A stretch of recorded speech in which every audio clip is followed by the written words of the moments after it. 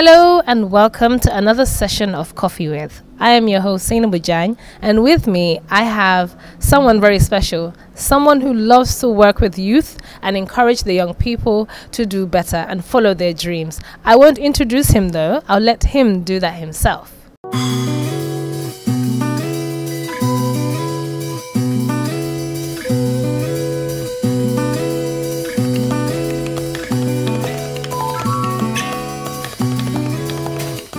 So please tell Coffee with your name and what you do. Well, thank you very much, and it's a pleasure being on this wonderful show. Of course, the coffee, and then, like I said, uh, my name is Baba Ceesay. Many people know me, the Balance, and of course, the Balance. Uh, I am the CEO of the Balance Crew. It's an youth organization that was formed back in 2013 uh, we have been uh, doing most of the youth work. Like most of the time, we do youth works with the society. We contribute to you know societal development in terms of voluntary services. So that's basically what uh, Balance do. But of course, the Balance stand for uh, is a is a youth organization that promote education and innovation in all forms. Okay. It's the pleasure having you on Coffee with Baba Ceesay. Please tell Coffee with though who was Baba Ceesay before he became the founder of the Balance Crew. All right, thank you very much. That's a wonderful question. And of course, if I go back uh, my primary school, I did my primary school in Kwinella Basic School. In, uh, back in, in Kiang. I know the Badibunkas are watching me on that. Uh, but of course, is uh, Kwinella, that is LR found in LRR, Kiang Central. Uh, from law, basic, uh, law basic school, I also go to Kwinella Upper Basic School. I was the head boy by then. And of course, during my primary school, I was one of the best students there too. And then when I graduated from Kwinella Upper Basic School, I also, you know, attended Nusrat Senior Secondary School where I, I did my uh, commerce. It's called a commerce uh, subject. I was in commerce one. And then from Nusrat Senior Secondary School, I was also part of the councillors uh, during my year, uh, 2000 and during my grade 11th. And from grade 11, then I, from grade 12, I graduated Nusrat Senior Secondary Schools, and then I attend, I did uh, my certified accounting technician, that is CAT, which, uh, which another level, the ACCA level, which is level two of ACCA. And then I started, of course, from there, that's where my academic stopped for the time being before I joined the university because that was just recently. But before that, uh, what I did was I was also working with the school, with the Nusrat Senior Secondary School, at, uh, management school, to assist them on certain things. Sometimes I even help in lecturing some of the certified accounting technician students. Also from there, I was later employed February, uh, 15th of February by GT Bank GT Bank employed me. I was there for almost up to May 2015. That was the time I resigned uh, from GT Bank. But before resigning, uh, the, we wrote a project with GRTS in partnership with GRTS. We won a $5 million project uh, from the EU, which is the GCCA, Global Climate Change Alliances project. And then uh, from there, of course, I work as the project coordinator on the GCCA, which was GRTS slash GCCA, you know, is uh, GCCA, a project, and then where I was the project coordinator. And then, of course, going further down, I also work uh, with Afronaut as their commercial manager. I also travel in other countries to also do some businesses for them. And from Afronaut, I also work as an assistant at, uh, in Observer as a business assistant, a business consultant, you know. And then now currently I'm doing my own businesses uh, that is consulting on media and also on business. But that's exactly what I study. Okay. In 2017, I joined the University of the Gambia to do political science, which currently I also shift my uh, my my uh, field from political science to public admin. So I'm currently studying public admin. This is my third year. That's an amazing profile, Baba. You, I must say, you have done a lot and achieved a lot. And I like your confidence because you said you was one of the best students. You know so you have confidence in yourself. Um, moving on, we would like to know also what was it like growing up back in the days in Kiang Central? Is it Kiang Central, right? Yeah. Yes. What was it like growing up as a young Baba? Well, it's fantastic. Let me tell you one thing: the beauty in in a village is that there is a peaceful ground for you to do a lot of activities if you want to do it, and that's beautiful. When I was in the village, there were a lot of, you know, amazing things that I, you know, especially let me even remember back, you know, when I used to join with my friends to go to the bush to hunt animals, you know, that I still remember. You know, most, if some of them are watching, they know what I'm telling them. You know, it's something that I enjoy. Actually, I don't even enjoy you know catching the animal or even trying to eat the animal at the time that many people enjoy but you know during the running that is one thing i enjoy during my life in kiang the other thing i enjoy in my life in kiang is that there is harmony you know when you are in a village we know each other we consider each other as family that's the beauty in a village when you are there you learn a lot when it comes to you know molding you, the villagers take in charge, the elders take in charge. And there was a high level of respect. Whether you like it or not, you must respect our elders. So, you know, of course, we know in our modern days that when kids, there is no, the moral values are losing, you know, when people are adopting this Western life. So there is no respect to our elders. So we're losing it. And that's exactly why we're also blind when it comes to even getting married you can even hear you can see that when it comes to achievement sometimes we fail because we fail to respect our elders so that's one beautiful thing when i was back in uh, in kiang and also of course when you're in the village you you go to the farms you know you go to the furrows. These are beautiful things. These are things that you definitely miss when you leave the village. So these are memories back in the village. And if at all i answered your question well these are some of the things i definitely definitely remember back in the village. So we'll now move on to um, your initiation which is the balance crew. Do talk coffee with what inspired you to start such initiative? Uh, let's start from the balance itself what it means the balance it means you know of course you're talking about an equilibrium. Whenever you say the balance you're talking about the middle. So anything you do it has to be balanced. So we realize that okay what are things that are not balanced? We realize that gambia we go to schools we graduate you know but where is the results? Where is the stuff? Where is the education? Where is the knowledge? It has to be there and that is exactly what we said educate to innovate, learn, think, and create. So the balance started with the form of me saying, okay, look, you know what? We are definitely going to make sure that these two are balanced because you cannot go to school, you graduate, you can do nothing. All you do is to search for a job. You understand? Even if you are at your workplace to innovate ideas is a problem. You know, balance come up with a problem with this program called Educate to Innovate, whereby we were now form the balance crew. So the balance crew started with a media advocacy of you know oneness advocacy of promoting innovations you know and education. Then we from there we now grow the organization into a big organization whereby we now invite youths to come up. There are a lot of youths who pass through balance. They learn a lot because when you the first time you come into balance what we ask you is do you have a talent?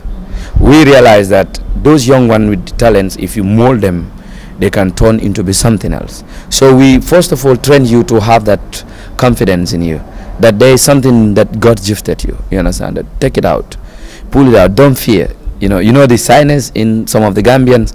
Many Gambians they have talent, they have it all, but they are shy. Sometimes it drives them from, you know, spilling it out to benefit the public. And you know very well, innovation is very very important. Now I'm going to say this: the balance when it forms, when it was formed, we are different when it comes to our hierarchy in terms of the way we arrange ourselves. Because first of all, you have the CEO on top there.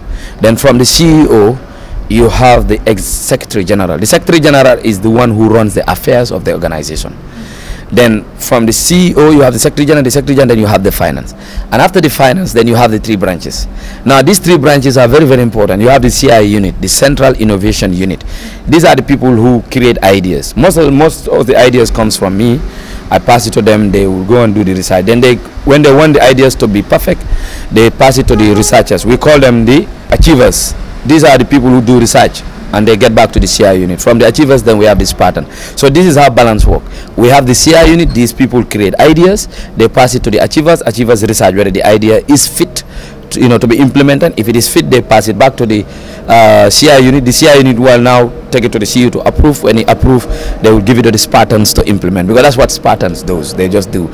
So that's how our organization operate in the past we have a lot of youth organize youth in the organization of course you understand some will come some will go but the organization stay the same i keep telling them i said if you have a good leader even if I told everybody leave the organization, as far as the leader is focusing on the goals and objective of the organization and he is working every day and night and respecting the rule of the organization, if you have few members, you can make it. Numbers don't matter.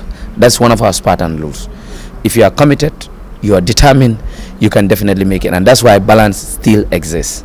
So balance in the past has achieved a lot. In fact, when it comes to voluntarism, we were considered number one in this country. And I can challenge any organization. Thank you, Baba. After knowing everything that you said that Balance does and has been doing, um, we know that any business you do get involved in has challenges. So please tell us about those challenges, just a few of them. You know, everybody face challenges. Even the Prophet Muhammad sallallahu alaihi wasallam faces problem during his road to make sure that Islam established. So challenges are always ahead of you. Sometimes they are, they, they are different in terms of their nature.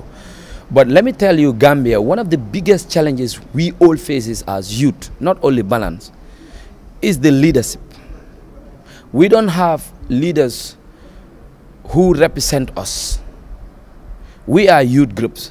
We are formed to voluntarily, uh, uh, you know, contribute to the national development.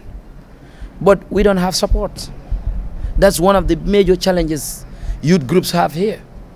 They have objectives, and some of these objectives require small resources. That small resources to get it from this department is a problem. And yet still they will so-called write beautiful languages when they are giving their, their, their end, end of the year reports, saying that they have supported a lot of youth. They don't. They don't support youth. Gambians don't value ideas. In a country where people don't compete for ideas, they compete for their individual pockets, that country never grow. And that is one of the problems of Gambia. Most of the idea we do, we can see that the same idea is replicated in other countries and they are doing it well and today is supporting a lot of them. We know ideas that are implemented and here today they are in another country that I need to mention na names of countries. And those countries are implementing and is successful. Why? Is because Gambians don't value ideas. Our organizations, we deal with ideas and we create brilliant ideas even if you ask some of the people, like for example, let's take for example the Youth of the Month, the Youth of the Year award. It's just not an award. This is an award where the youths compete for national development. When that's why it is called when youths compete for national development, what will be the outcomes? That's a brilliant idea. We did it. Then Asanda, it was very tough. We don't have support. We have to push it, push it until it was successful. But the problem of the Gambia in the Gambia is that they don't value ideas and you cannot value ideas. For example, you can be gifted with resources, with money, but you might not be gifted when it comes to ideas. The person that is gifted with ideas, you with your resources, you join together to make sure that that idea establishes and it supports a lot of people. Gambians don't know that. If you don't have nothing, nobody cares about you. When even if you are speaking knowledge, that will benefit the entire country as far as you are nobody, as far as you are down there, nobody cares about whatever you say. Somebody who is rich might not have the ideas. I might be very, very poor, but I might have ideas that God gifted me. And I keep saying this thing. If we do not value ideas, we will never grow. And that's one of another big challenges. We will create brilliant ideas and we will write it in a concept. We will send it to these departments. They will never support us. They always give us false information. That's another challenge. The other challenges also we face is because young people, we as young people have to understand one thing. You don't come into a place and you want that place to transform you that the same day. My friend, I saw white people that are working in 10 years to 15 years, 20 years in one with one idea, they never succeed. But after 35 years, their son and kids will come over and they will make sure that their, their, parents' uh, objective is, is successful. Then so we've seen those ideas, they are working. Gambians don't believe in time, they believe in fast money.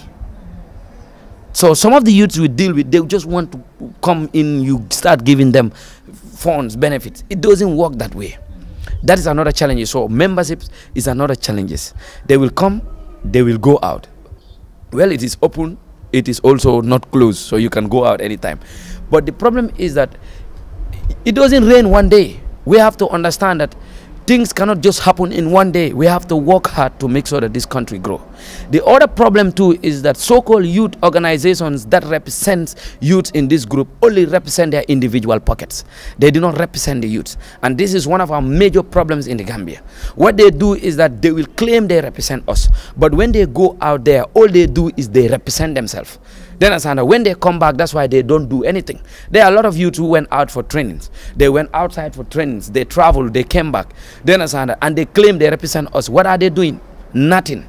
What results are you seeing in the country? Nothing. In fact, voluntarism has reduced drastically because everybody is working for its individual pocket.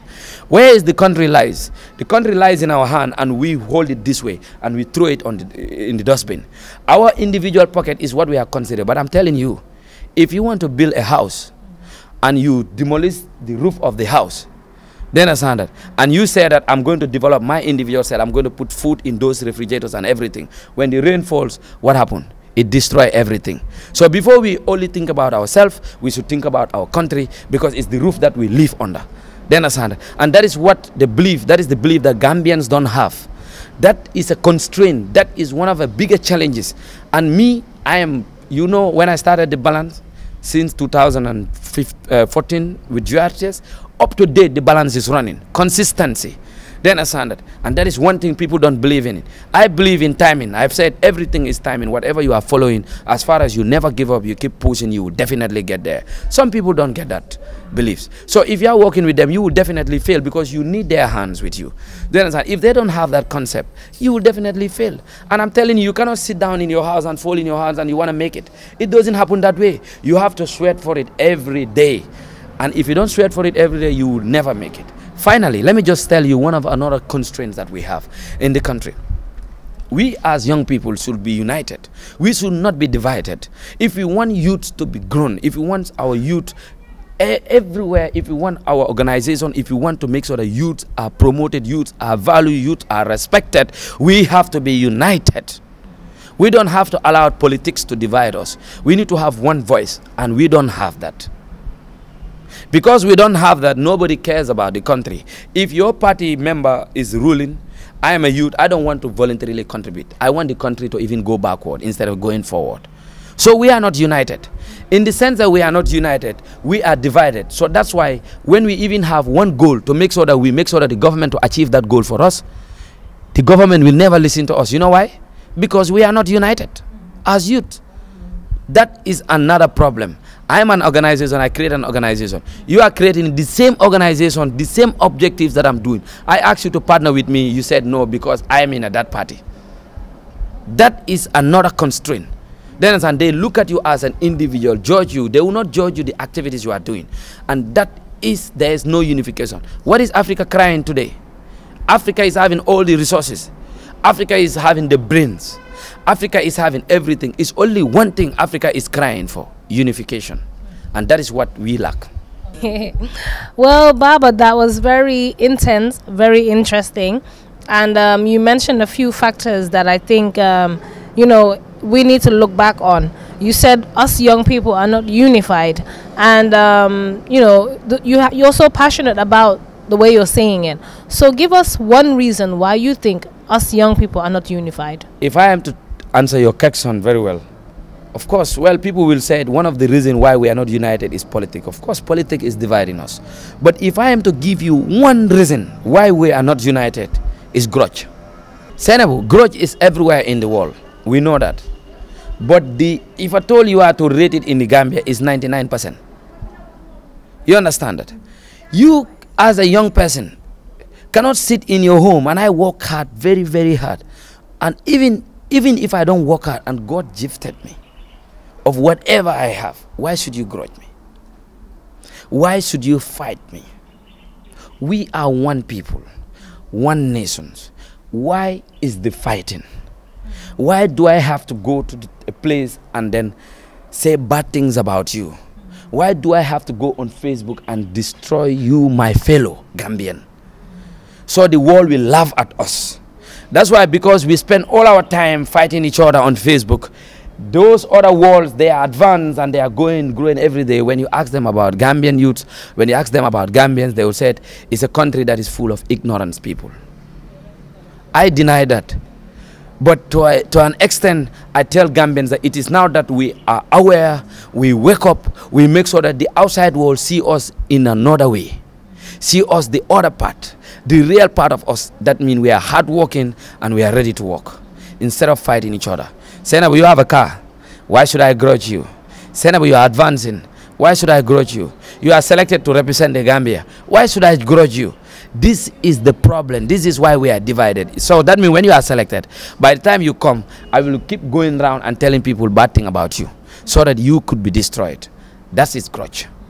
Purely grudge. And that's one of our problems. Um, you said grudge grudge is a very heavy um, reason why you know the young people aren't unified.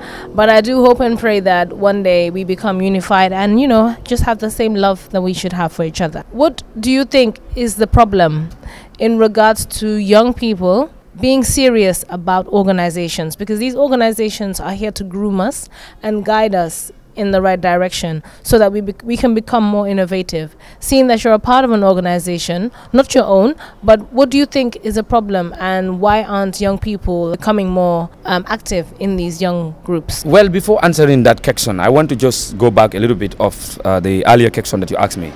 I, I made mention of grudge. You know, a person that is grudge, he has what he call fear, and fear is evil when you grudge somebody, it's like you fear him to go ahead of you. That fear is evil. And definitely, you are a parasite walking within the street. You don't even know that. You are even worse than the plasmodium parasite. Because you live in the flesh of the people. When the mosquito only live in the blood of the people. Within the blood of the people. But let me tell you one thing. That is one of the reasons why you should not be a parasite. Why should you be grudge? So I just want to make sure that anybody who is grudge of his own fellow is a parasite.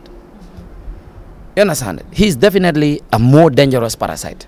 Well, going back to your question, you know, one of the problems why youth recently are not engaged in in organization, I'm going to tell you this, and it's definitely true. Don't blame them. They have a point. Anyway, I cannot join in a youth organization whereby we should have a body that should coordinate this youth organization from the government to make sure that this youth organization contribute to societal development. What Paul Kagame doing is that he's now telling the youths that you are the present and the future leaders. You make sure that you take in charge of your own development. So the government is now influencing, is involving in youth development. Now, what the Gambian government is doing, he's isolating the youth thinking that the youth are violence, there are people causing the violence. But I'm telling the government, there are youth in this country, it might not be me, that are brainly gifted by God. If you involve them, you include them, wallahi, they will develop this country. It's not a joke. This is not something that I'm just saying. This is something that I see my uh, naked eyes. These are young people that are vibrant. These are young people that are gifted, but they have been isolated. Even if they found a youth group, they have brilliant objectives, nobody listen to them. So what happened? They collapse. Do you understand what I'm saying? Now, that is one of the reasons. The other reason is youth organizations in this country supposed to be coordinated well. I'm telling you, well coordinated. Meaning, you don't need to give them only fund. Because most of the works they do, they are voluntary works. All you need to do is that their activities are supported, they are motivated, they are involved. That's what motivation is all about. Motivation is not about only money. Because most of them, their activities are just small amount of resources. Small amount of resources that will not disturb the government quarters.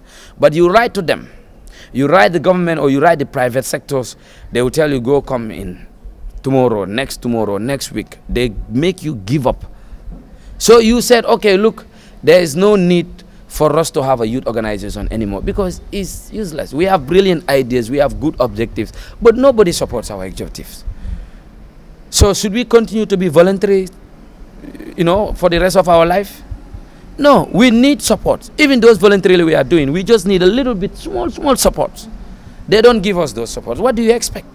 They will not join the youth organization. You join some of the youth organization, they are very corrupt. Like Balance, time to time, they will be sending their youth, youths to, for training. And they are the one who are control, uh, uh, controlling their own funds. Nobody's controlling it. They make decision on their funds. They understand that.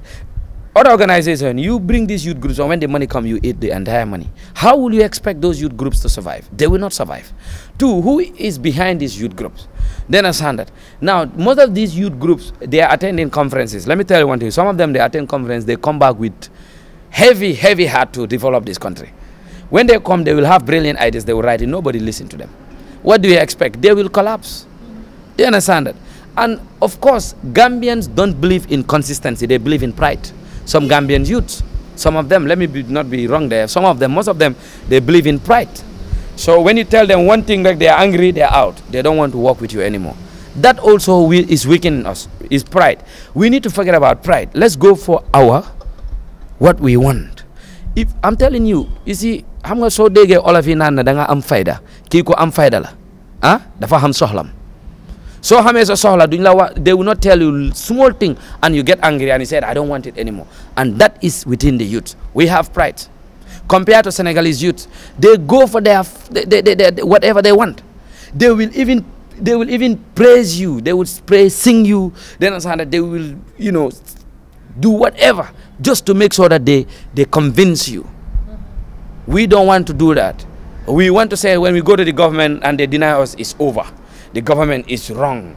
They, these people are not supporting us. Let's try to motivate them. Let's try to convince them, sorry. Let's try to make sure that we convince them. That convincing tool should not be a pride.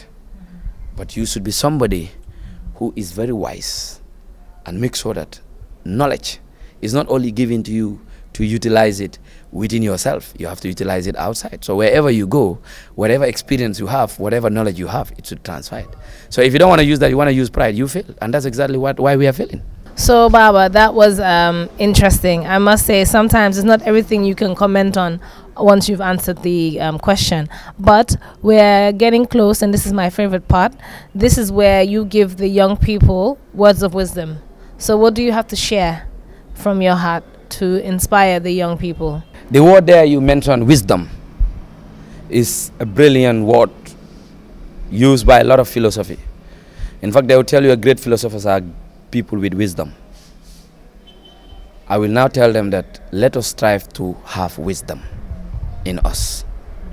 Because wisdom could be given to you. You see, youths out there, I'm telling you this. Let's take, for example, why the youths in Switzerland in Australia, in England, and other countries are campaigning for climate change. Why those 10 year, 16 year old kids are going to the street and saying that we want you to save our planet. Why? We want it, you to save our planet today and tomorrow. Why? It's because they know they are the present and the future leaders. They will be the one to live in it. We expect them that in the future they are the one going to live in it. This country does not belong to any individual leader. It belongs to us, all of us, but especially us as the youth. If we make this country, the house look good for us, both now and in the future. If you don't make it better, then it becomes fire on us. And for us to make it better, the first thing I will advise youth out there is to respect their education Education is beautiful. Respect your education.